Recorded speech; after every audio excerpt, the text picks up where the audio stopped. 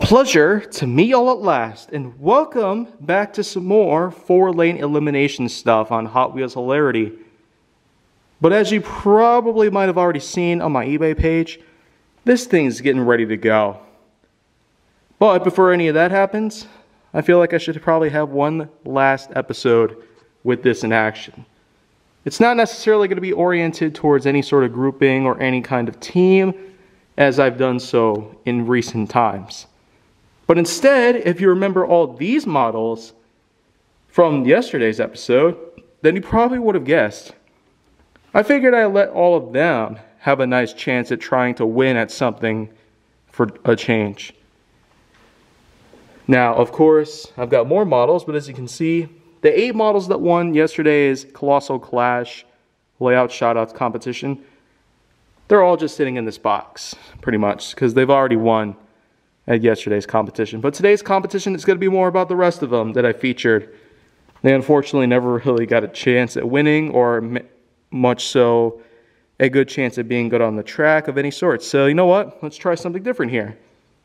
Now, since this can only fit four at a time, we're going to have to split all of these into groups. So, cut to black. Bada bing, bada boom. Here we go. One, two, three, four, five, six, seven, eight total groups of cars. Eight times four is 32.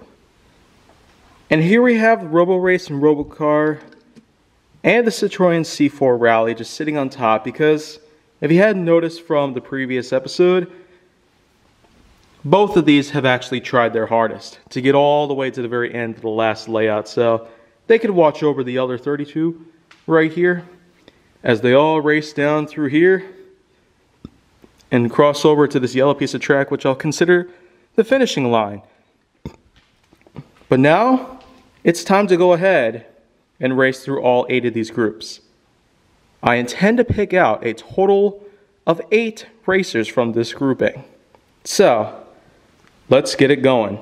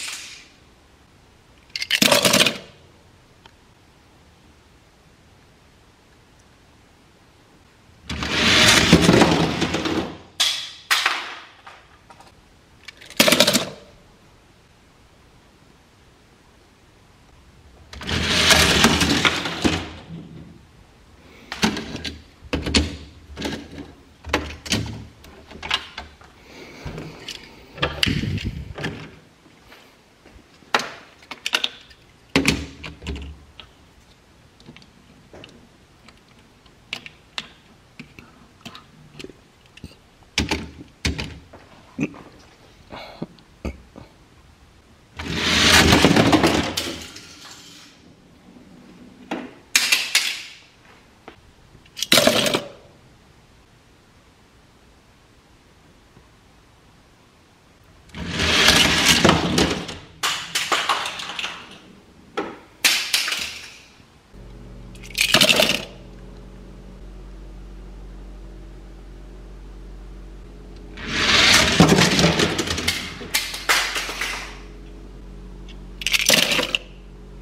So with that, Linster prototype adds up to a total of eight winners. Not to mention Robo Race Robocar and the Citroen C4 Rally. But now, we're going to go ahead and see if we can actually dish them out. So here's how it's going to work. I'm going to dish in Unobtainium and Turbone Charged alongside the Citroen and Robo Race. So we're going to see if we can either knock both of these out or we any of these can go out. So either way, we're going to put in two more races starting now.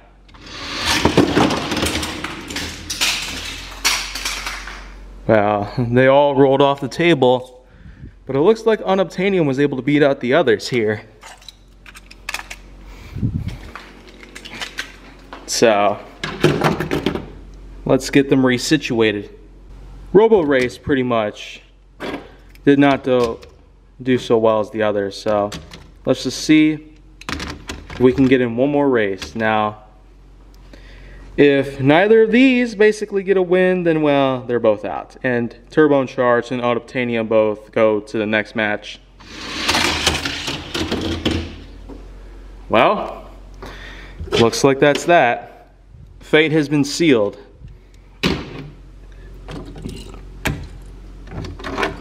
So, at least he tried, but goodbye.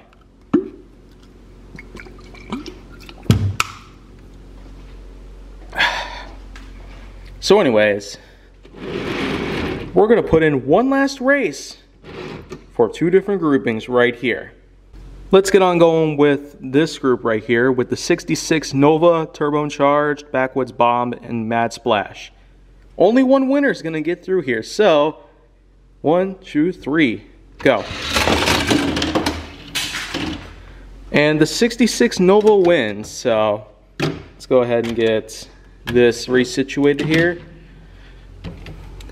So these three unfortunately got to go.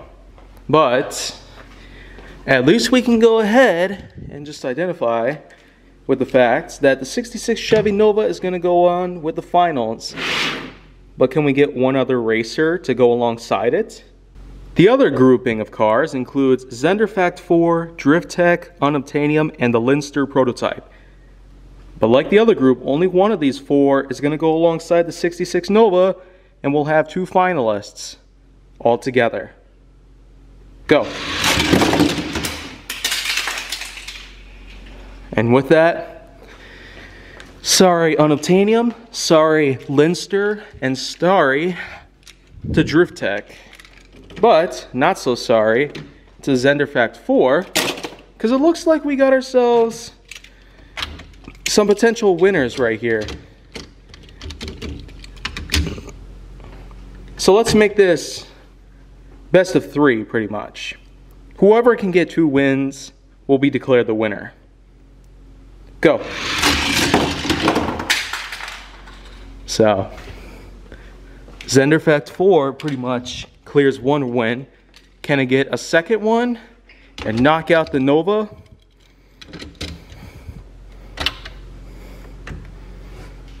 Let's find out. Well, there you go.